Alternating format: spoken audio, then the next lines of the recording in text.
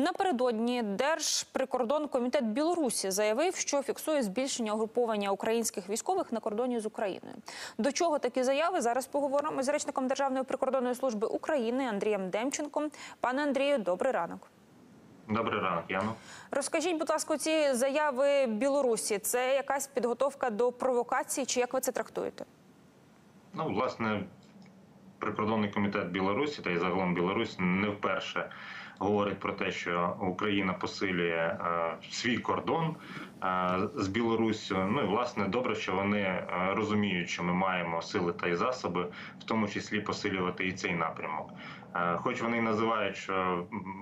Будуть протидіяти всім провокаціям на кордоні, але треба згадати саму основну провокацію, яку здійснила а, Білорусь 24 лютого 2022 року, коли фактично відкрила свій кордон для е, російських військ, які також заходили з території цієї країни на територію нашої держави. Ну і власне, поки Білорусь. Буде в полі е, зору, скажімо так, і е, в, в, в, одному е, союзному в союзній державі з, з Росією, поки Білорусь буде підтримувати Росію цій повномасштабній, нічим не спровокованій Україною війні війни, ми продовжимо посилювати наші кордони. Це і різними підрозділами е, сил оборони нашої країни, і в інженерному відношенні, бо цей напрямок він для нас залишатиметься загрозливим. Ну але е, щодо заяви, ще раз зазначу, що це вже не вперше. Е, Білорусь намагається певною мірою можливо перекинути відповідальність на Україну, говорячи про те, що ми. Е, Тримаємо свої війська, тримаємо свої е, засоби на кордоні з цією країною. Але наша основна задача це безпека, оборона, і ми робитимемо все і надалі для того, щоб е, цей напрямок він залишався захищеним. Чи бачите ви якусь нетипову активність і на е, з того боку білоруського кордону, і е, з того боку російського кордону в районі Сумщини? Ну, по кордону з Білорусі ситуація незмінна. Е, У Росії е, на території Білорусі немає сил для е, вторгнення на територію нашої країни на даний момент. Білоруські підрозділи, які певною мірою посилюють кордон з нашою країною, вони, як і раніше, перебувають на різних напрямках, але знову ж таки вони знаходяться на певній відстані від кордону. По кордону з Росією, якщо говорити саме про сумський напрямок, е, вкотре зазначу, по- поки ми маємо е, такого сусіда, поки ми маємо агресію, яку е, Росія веде проти нашої країни, ми маємо бути готові до розвитку будь-яких ситуацій. Але на даний момент те, що відмічаємо у Росії, недостатньо сил та засобів для того, щоб здійснити вторгнення на сумському напрямку для того, щоб досягти своєї стратегічної цілі. Але по прикладу Харківської області, е, в будь-який момент для того, щоб в тому числі розтягнути сили е, оборони нашої країни, ворог може е, здійснити дії і по е, сумському напрямку. Тому маємо.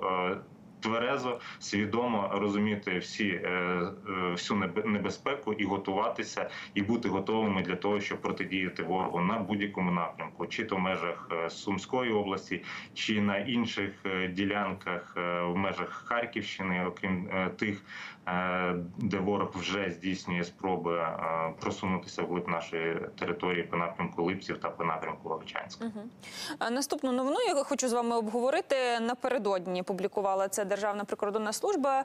Значить, в потязі Київ-Ужгород. Одягненого у жіночий одяг Одесита затримали прикордонники, яких він хотів незаконно перетнути кордон, е, видаючи себе за старшу жінку.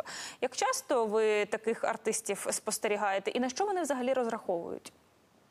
Ну, як бачимо, спроби незаконного перетину кордону вони продовжуються. Продовжуються е, намагання дістатися до прикордоння, використовуючи або застосовуючи різні е, способи, е, схеми, в тому числі і коли чоловіки перевдягаються в жіночий одяг. Це не перший випадок, але їх небагато. Проте, як бачимо, вони е, ці е, способи все ж таки продовжують використовувати.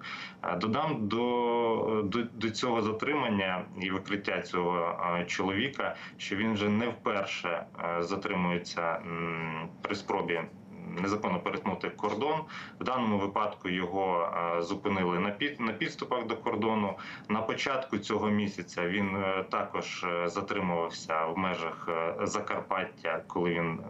Спланував собі маршрут, е, аби дістатися до, до кордону. Тоді він не перевдягався в жіночий одяг, але е, при е, при появі його в прикордонні, коли він прямував уже до лінії кордону, його було затримано і притягнуто до адміністративної відповідальності, як і цього разу також. Е, Додам, що підрозділи Державної прикордонної служби, наші е, оперативні співробітники, а також інші е, правоохоронні органи, які нам допомагають в прикордонні протидіяти спробам незаконного перетину кордону.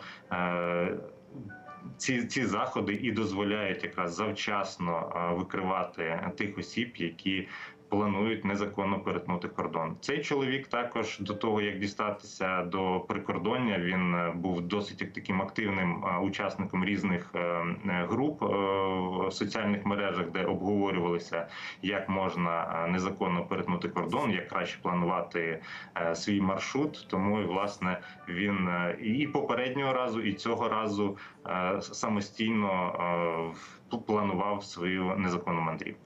Ну, знаєте, учасник груп, я ще собі уявила, як він там поради роздає. Знаєте, це як швидко розбагатіти, як перетнути кордон. Ну, от бачите, що прикордонники таких е, товаришів зупиняють. Дякую вам, пане Андрію, за те, що ви до нас приєдналися. Це був Андрій Демченко, речник Державної прикордонної служби України.